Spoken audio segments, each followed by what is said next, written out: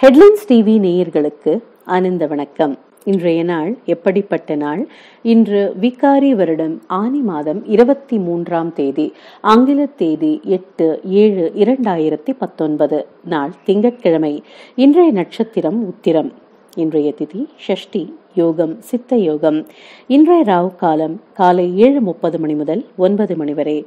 இன்றைய ஏமகண்டம் காலை பத்து முப்பது மணி முதல் பனிரெண்டு மணி வரை.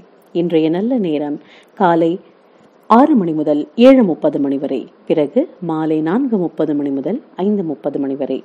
இன்றைய விசேஷம் என்னவென்றால் இன்று ஷஷ்டி விரதம் முருகன் வழிபாட்டிற்கு உகந்த நாள்.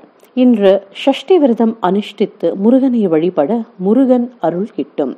ஜாதகத்தில் செவ்வாய் கிரகத்தினால் வரும் பாதிப்பு விலகும். அன்பர்கள் கோவிலுக்கு சென்று முருகனை வழிபடலாம்.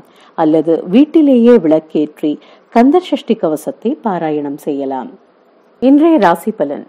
மேஷம் முயற்சிகளில் சிரமம் ஏற்படலாம். விடாமுயற்சியும் தன்னம்பிக்கையும் வெற்றியளிக்கும்.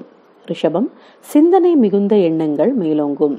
மிதுனம் குழப்பமான சூழ்நிலைகள் ஏற்பட வாய்ப்புள்ளது. இஷ்ட தெய்வ பிரார்த்தனை தெளிவை அளிக்கும்.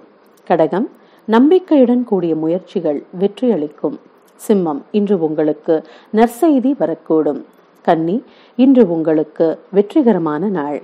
துலாம் இன்று உங்களுக்கு சுகமான சூழ்நிலைகள் உருவாகும்.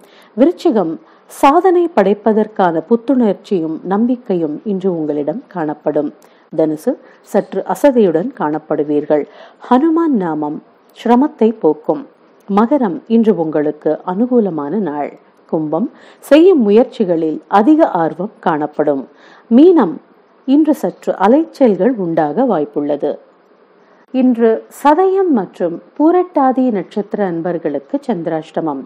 சற்று கவனமுடன் செயல்படுவோம். நேயர்களை சப்ஸ்கிரைப் பண்ணுங்க ஹெட்லைன்ஸ் டிவி தினந்தோறும் பஞ்சாங்கம் மற்றும் ராசிபலன் தகவல்கள் அறிய நன்றி.